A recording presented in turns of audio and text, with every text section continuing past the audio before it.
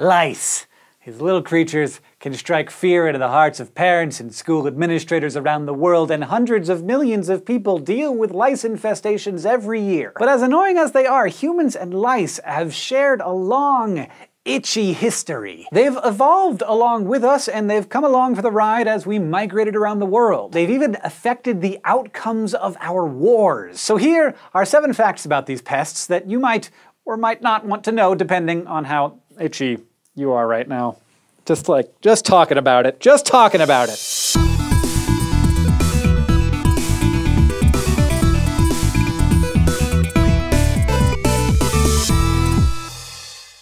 More than 5,000 species of lice. They are tiny and wingless, and they are experts at feeding on birds and mammals. And they have to be experts. They are obligate parasites, meaning that their life cycle depends on finding a host to feed on. In general, lice can be divided into two groups sucking lice, which have special suction mouthparts, and chewing lice, which have jaw like mouthparts. Both types sound pretty gross. Depending on the feeding mechanism they use, different kinds of lice can infest lots of different warm-blooded animals, with some lucky exceptions, like bats. Adult lice only live for about 30 days. In that time, they mate and then the females lay eggs, called nits, right at the base of a hair shaft. These nits hatch in about a week and become small, immature nymphs, which stay attached to the hair shaft and start feeding on blood from the skin. In about two weeks, the nymphs mature into adult lice and start the cycle all over again. They feed on blood several times a day, nymphs can't live without blood for more than a few hours, and adults die within a couple of days. So for lice, finding and sticking to a host is key. Luckily, out of all of those thousands of species,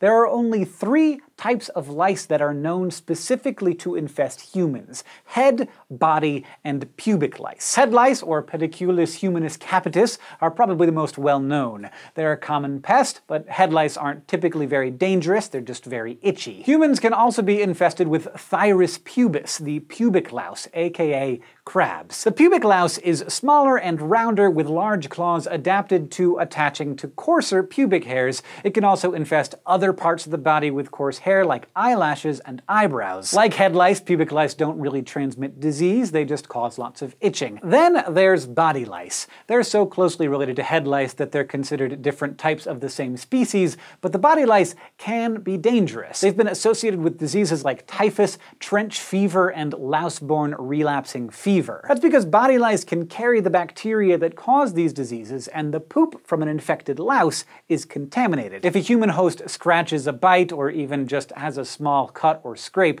the bacteria in the feces can get into their bloodstream. Typhus and louse-borne relapsing fever are often fatal. Trench fever isn't deadly, but it is severe. It causes very high fevers for days at a time. Body lice were common in trench warfare, where soldiers were crammed together in unsanitary conditions, and those lice would would spread disease. Part of the reason Napoleon failed in his invasion of Russia in the early 1800s was that tens of thousands of his soldiers died from typhus spread by lice. And trench fever was a huge problem during both world wars. So body lice are the ones you probably want to avoid. The best way to prevent body lice is to avoid contact with other people who have it and to wash your clothes and body on a regular basis. But it turns out that another way to avoid getting body lice might be getting head lice. A group of researchers from Hungary proposed this idea in 2012 based on the fact that humans often touch heads to express affection, like when you lean your head against your friend's head while you're taking a photo. Humans do this all the time, but non-human primates don't. And there's another thing that's unique to humans, two separate kinds of lice for our heads and bodies. The team realized that there might be a connection between head touching and lice. There's some evidence that exposure to body lice can provide some protection against them. When a separate group of researchers injected rabbits with an extract from body lice feces,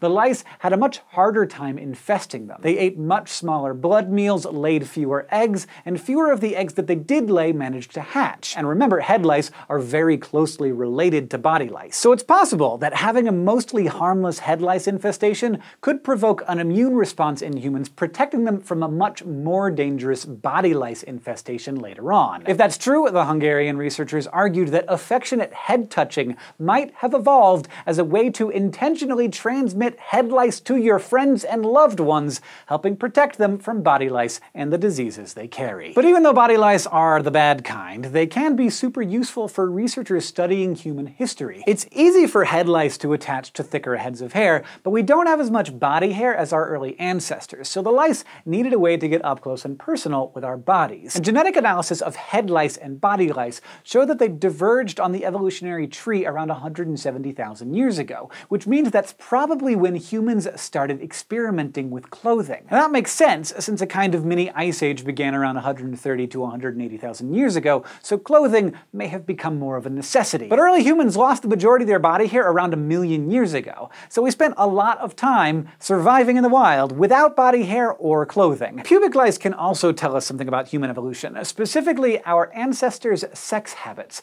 since pubic lice are mainly transmitted through sex. Head and body lice are super closely related to each other, but pubic lice is much more distantly related. It's not even in the same genus. In fact, it shares closer ancestry with a different species, Pthirus gorillae, which infests gorillas. Now these two species diverged around 3.3 million years ago when our Australopithecus afarensis ancestors were around, which means that at some point Australopithecus and gorillas were in close enough contact for gorilla pubic lice to infest our ancestors, possibly sexual contact. But we know that pubic lice can also be transmitted by sharing bedding or towels, so it's possible that Australopithecus and gorillas were just sharing habitats and that our ancestors reused nests where gorillas had slept. Which would be, I, which would be, I mean, I understand, it's, it's things happen, nature, but that would be less disturbing. The genetics of lice can tell us about the history of human migration and civilization too, because when our ancestors left Africa and spread around the world, they brought lice with them. Nits have been found on ancient artifacts like pieces of clothing and personal combs, and they've also been found preserved in the bodies of mummies from as far back as 10,000 years ago. And studying the genetics of lice from these mummies, as well as modern samples from around the world,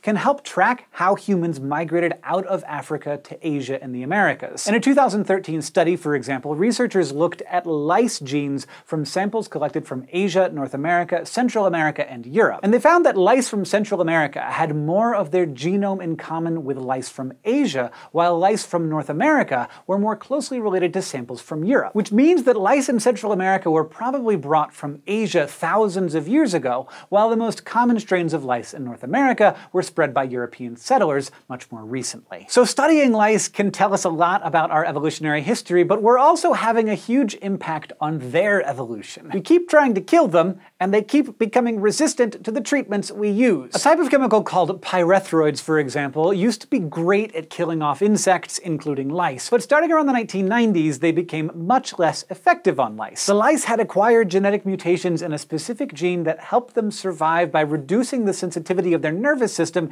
in response to the insecticide treatment. And when these so-called super lice treatment, they breed with each other and they pass along their resistance to their offspring, so you end up with even more super lice. But there are other classes of topical insecticides that do still work effectively. Benzyl alcohol, for example, essentially suffocates the lice by targeting their respiratory system, though it can have side effects like skin irritation. There's also spinosad and ivermectin, which both contain compounds that affect the insect's nervous systems, but eventually lice might develop similar genetic resistance to those drugs too. There are other effective methods though. One study coated hair in a skin cleaner, specifically Cetaphil, and then blow dried it until it hardened into a kind of shrink wrap coating then left it there for eight hours. The researchers found that the hardened coating suffocated lice with a 95% success rate. And in clinical testing, heated air from a specially designed blow dryer was shown to kill 98% of nits and 80% of live lice. But if all else fails, you can always do what humans have been doing for thousands of years. Take a fine-toothed comb and spend hours picking out nits and adult lice. Or, of course, just give up and shave your head entirely. Thanks for watching this episode of SciShow,